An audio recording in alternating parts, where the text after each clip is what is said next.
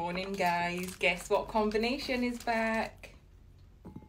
You have to get the pack that looks like it's the most firm and deep red, uh, but not too deep because I've tried black grapes with this combination and it's not the one. Sometimes when you look at grapes, the oblong one, you know, like the shape is like oblong, those ones end up really crispy. And I thought that this was it, but now that I'm looking at it, they're not as oblong as I thought they were. Wait, let me try one.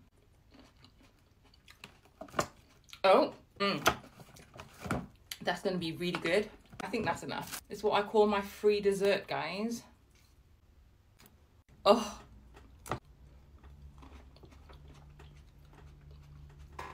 I have missed that so much.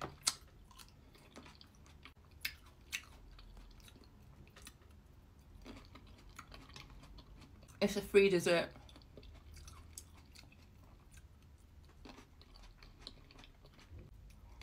Mmm.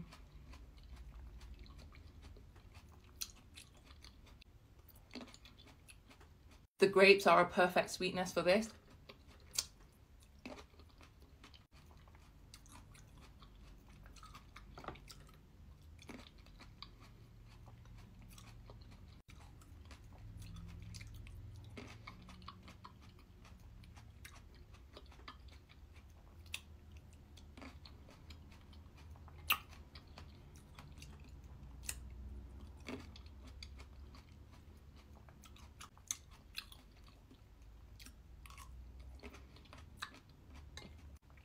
So good.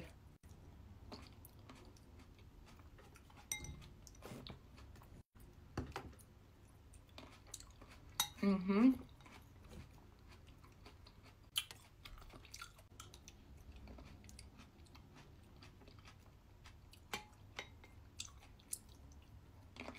Mmm.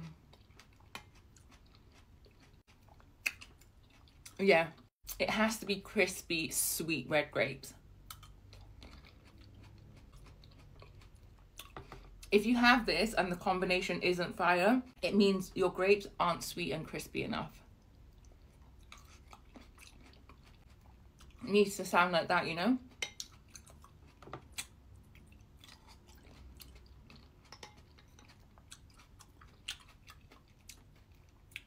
Mm.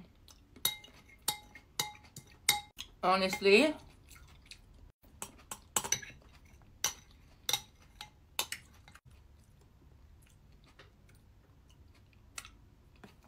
That is so good. When I used to diet,